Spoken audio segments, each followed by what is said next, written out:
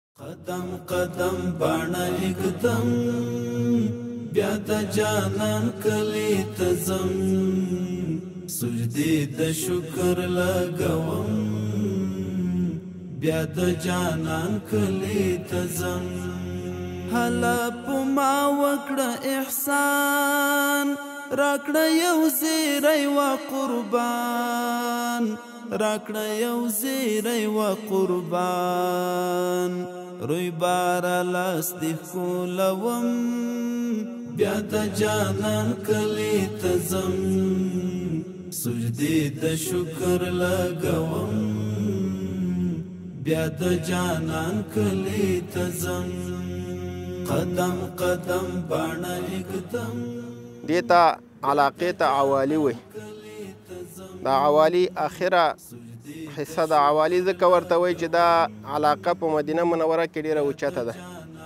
د دې دا خرمام چې دی ډیره اوچته دي حتی نور خرما حدیثو کې درې راغلي چې وخوړل شي د امراضو د فاره مفید دي او د دې یو خرمام هغه کې قید د دریو نه دی راغلی نو د دې دا خرمام ډیره اوچته دي دا علاقه دا د کعب بن اشرف قلا ده او دا دا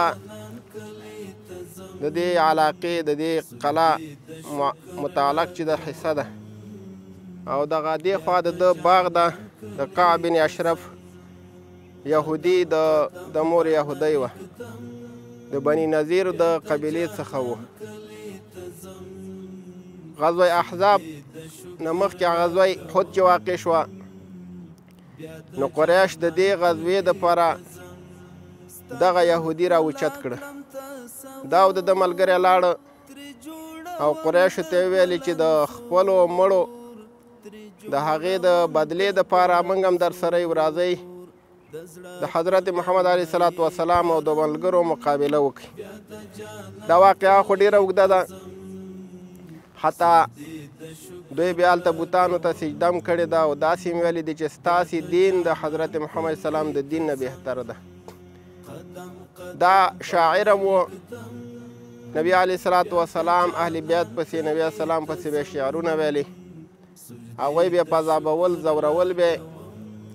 او د حضرت محمد علیه الصلاة والسلام او د دوی د ملګرو د تجارت مخه به نیوه. دا جنت البقیع کې چې اوس قبرونه دي په دغه ځای کې نبی علیه الصلاة والسلام د تجارت دپاره یو ښار برابر کړ، هلته یې خیمې ودرولې. دا ظالم راغه او دا خیمې د شپې ټولې وشکولې په تورو باندې ووالې چې د تجارت مخه ونیول شي نو د به تبلیغات هم زیات کول همدا وا چې نبی علی صلوات و سلام فرمایل چې کعب بن اشرف الله او د الله رسول ته تکلیف ورساو څوک به دا ختم کی او د د مخه به ونیسي نو محمد بن مسلمتا رضی الله تعالی عنہ دا دا صحابي چې همیشه د نبی علی السلام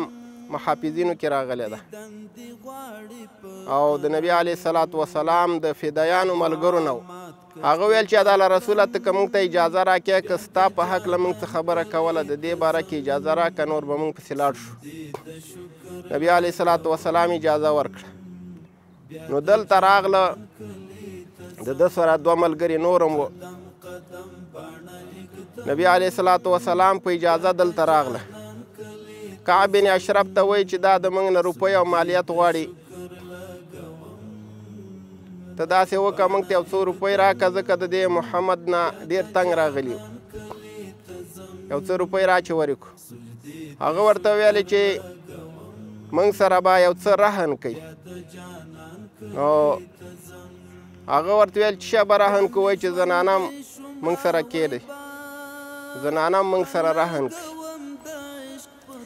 هغه ورته ویل ته خو اجمل اجمل العربي عربانو ښایسته سړی نو تا سره ښځې څنګه کېدو داسې خو نه شي کېدی موږ ته به به پیغور پاتې شي وایي بچیان او زامن هم را سره کېدی ضمانت کې هغه ویل چې دا هم نه شو کولی ځکه خلک به بیا وایي چې د یو څو روپۍ په بدله کې تاسو په ګانه کې او دلته امانت تاسو خودل شوی وي بندیان او اسیران وي نو بیا ورته ویل چې اسلحه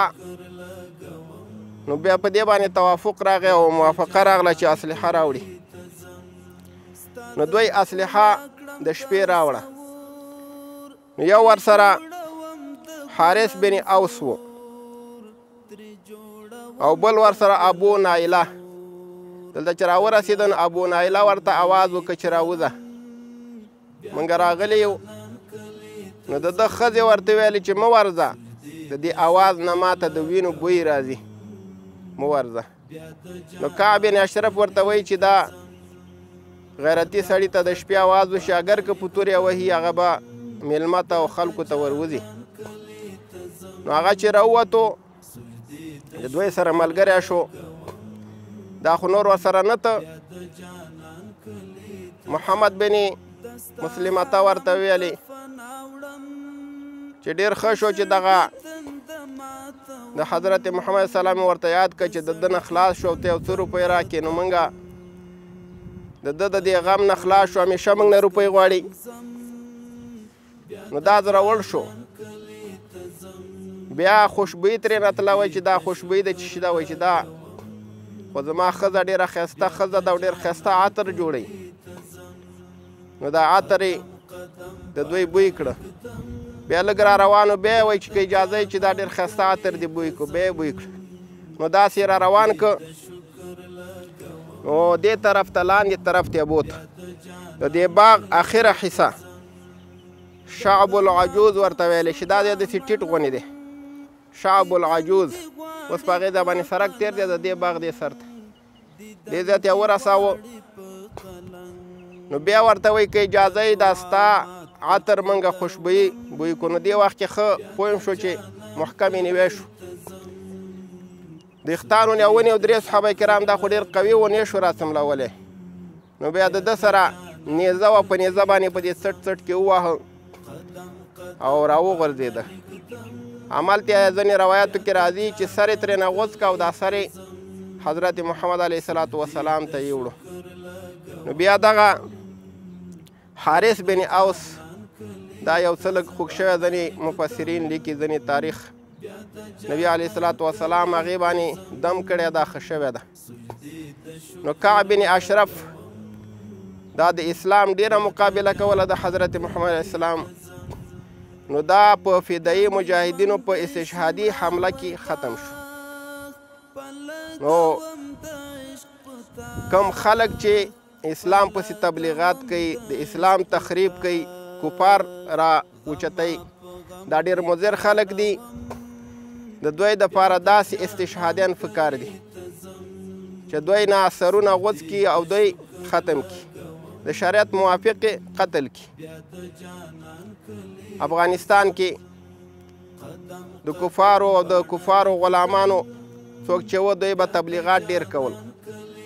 اوس الحمدلله ناکام شوی افغانستان کې شرعي نظام د خو بیا هم ځینې خلک داسې شته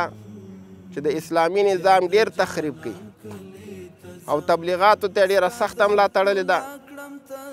نو د دوی مقابله په دلایلو سره یا دا چې د امارت اسلامي د اصول موافق دوی د منځه وړل دا یوه فریضه ده ځکه دوی نه کینی همیشه دوی غواړي چې کفار په مسلمانانو باندې راتیز کی نو دا قلا د کعب بن اشرف ده دا ماغه پخانی دیوالونه پاتې دي ډیر قوي قوي د تیګو دیوالونه دي او دې علاقې ته حره ویل شي په دې کې یو وخت کې اور راووتو داسې غټ اور و چې زر کیلومتره دا اور داسې روان شو حتی قرطبی امام قرطبی رحم الله علی کې چې څه تفسیر ما د دې رڼا ته ولیکه د دې دا رڼا ډیره سخته خوره شو نو دا حره دا تیږي ګوره توري دي دلته اور راوتلی نو دا علاقه د بنی نذیر د یهودیانو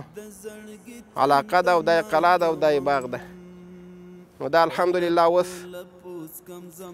مسلمانانو ته دا علاقه پاتې ده